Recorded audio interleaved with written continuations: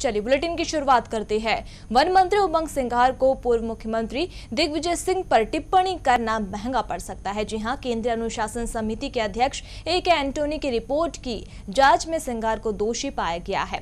समिति ने पार्टी आला कमान को इस बारे में बता दिया है और इस मामले में अब आगे कार्रवाई पार्टी के राष्ट्रीय अध्यक्ष सोनिया गांधी को करना है।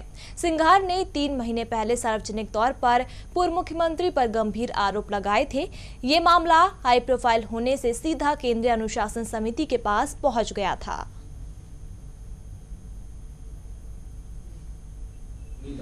और ये सब अनुशासन समिति ने कहा कि इस पे जो भी निर्णय लेना है, वो अखिल भारतीय कांग्रेस के अध्यक्ष सोनिया और ये सब अनुशासन समिति ने कहा कि इस पे जो भी निर्णय लेना है।